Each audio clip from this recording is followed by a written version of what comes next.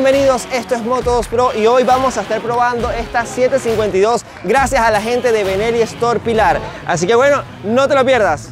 Eh, mi nombre es Fernando, todos me conocen en el rubro de la moto como Chispa y en el día de hoy estamos organizando con gente de Benelli Store Pilar un desayuno, del cual bueno, nos juntamos en la agencia con clientes invitados. Vinimos hasta Villaverde a almorzar, hacer unos sorteos para la gente y después vamos a hacer como cierre y broche de oro un test drive con los distintos modelos de Benelli. Bueno, mi nombre es Melissa, yo soy asesora comercial de Benelli Store Pilar. Hoy hicimos un evento acá en Villaverde y por supuesto que trajimos tres modelos de los más vendidos de lo que es la línea de Benelli para que podamos hacer un test drive. En este caso vamos a estar presentando la 752S, que es una moto naked deportiva. Vamos a seguir por la Imperiale, que es un estilo más vintage clásico y al mismo tiempo moderno por todas las prestaciones que tiene actualmente, por supuesto. Y vamos a presentar también la TRK 502. Ahora les vamos a estar contando igualmente un poquito de las tres motos. Soy Matías de Benelli Store Pilar. Estamos en este caso presentando la 752, que el icono acá nosotros de Benelli que tenemos en la sucursal, una de las más rápidas y las más vistosas. El color también ayuda mucho. De esta moto la tenemos con accesorios, espejos rizoma, antirreflejo. Tenemos las llantas pintadas de color gris plata también para que resalte un poquito más. Es una de las motos que tienen este caliper Brembo eh, para una mejor frenada. Toda el 752 levanta mucha velocidad y bueno, y es, es muy buena en pista. 752S de Benelli, con un peso de 226 kilos, con una distribución tan buena que al momento de compararla con la TRK 502 yo siento que es más liviana. Un motor de 754 centímetros cúbicos, doble árbol de levas, hasta ahí todo normal pero la misma carga 14 litros. Eso quiere decir que no está totalmente diseñada para viajes, sino algo así como más para ciudad, más racing, sport diría yo. Esto no quiere decir que no sirva para viajes, sino que no es su propósito. Este es el primer motor de la nueva orden de Benelli, logrando una aceleración y entrega de torque que te puede sorprender. Produce unos 76 caballos de fuerza a unas 8500 RPM la suspensión delantera es Marzocchi, 50 milímetros delantero, regulable en precarga y con un recorrido de 117 milímetros. En la parte trasera tiene un monochop con ajuste en precarga. Los frenos son Brembo semiflotante, pinzas Brembo, bomba Brembo, así que todo de excelente calidad. La manija es regulable, con una excelente terminación. Algo que destaca de esta moto es su poder de frenado el freno trasero también es Brembo, con dos pistones. A nivel de luces, toda es LED, como viene haciendo Benelli. A nivel de diseño, el portapatente tiene un detalle de fina coquetería, el propio producto de alta gama. Su tablero sí es algo más normal, es algo más básico, solo muestra información tradicional de kilometraje, velocidad y combustible. Pero bueno, vamos a primeras impresiones y manejo de la misma salir con esta motito el día de hoy. Eh, ya le monté la 360 también para sacarla. Vamos a intentar sacarla caminandito por acá primero. Y luego empezamos a grabar lo que sería el test o mis impresiones a nivel de que se siente andar con una 752 gran moto.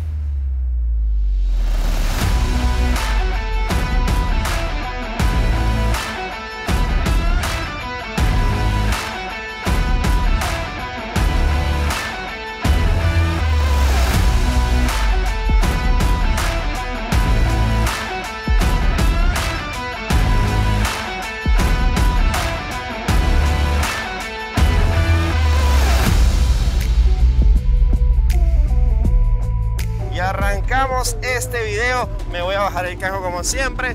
Ahora vamos a probar una 752, señores. Miren, no les eh, por si acaso el micrófono o el sonido no va a estar tan bueno. Bueno, acá probamos la KTM en este mismo circuito. Vamos acompañados, en este caso, de Leo y unos amigos más que van ahí adelante.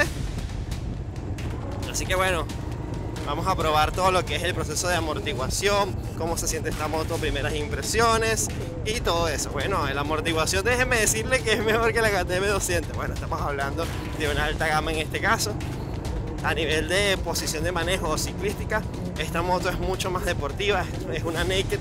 Eh, como ya habrán visto en, la, en el review, se trata de una moto que pesa 220 y algo de kilos y de igual forma muchachos no se siente absolutamente nada tanto en la parte de manejo para echarlo hacia adelante o hacia atrás, que es el momento donde uno puede percibir más lo que sería el peso de una moto, ¿no? Porque en marcha no se siente absolutamente nada. Y déjenme decirle que la siento compacta, la siento pequeña, siento como que soy uno con la moto. Y ahora sí, en esta oportunidad, Leo no me va a dejar botado. Nah, señores, no es nada fácil. O sea, me encantaría poder pasar de mi moto de la TRK a esta. Es una locura. Benetis no juega carrito con estas motos. No, y la amortiguación una cosa de loco. Yo pensé que por el peso, por todo lo que significaba tener este motor, la amortiguación iba a ser un poco más, más, más dura. Y no, aquí estoy pasando por una serie de baches.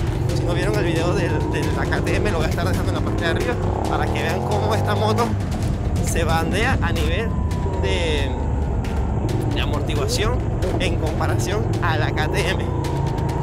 Y mira esta curva, mira esta curva como la tomo.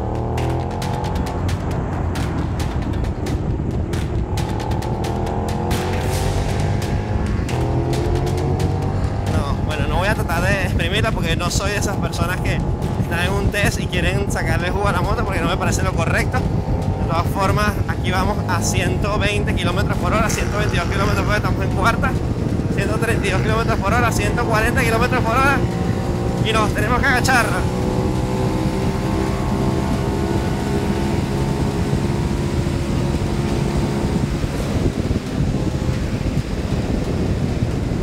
Y listo, señores. Aquí vamos con Leo. Ah, por fin alcanzó a Leo en lo que significaría una moto de alta. Lo cual está, es una locura. Tenía años que no corría tanto. Bueno, con la, con la TRK he llegado a 140, es lo máximo que he llegado. Con esta, obviamente, su velocidad final es de 199 kilómetros por hora. Es una locura. Y allá se fue Leo. Vamos a tratar de alcanzarlo un poquito. y le metemos a tope. Ok, en la frenada, chicos, esta moto ni se siente, lo juro. Lo juro, lo juro, lo juro demasiado. Esta moto no se siente un carrizo. Yo sé que si estás viendo este video, estás buscando pasar a una moto con adrenalina, con fuerza, con robustez. Déjenme decirle que esta moto lo tiene todo la combi completa, como, como dice la canción. Antes de continuar, quiero dar las gracias a todos por los que me acompañaron en este proceso de prueba del video. No olviden seguirme, darle like y obviamente compartir este video ya que es una de las formas que nos ayudan a crecer a nosotros como canal. Gracias a la gente de Benelli Store Pilar que nos permitió hacer este proceso de test review el día de hoy. Muchísimas gracias a Leo, como siempre, por acompañarnos a hacer esta maratónica caminata o recorrido por las autopistas de Argentina.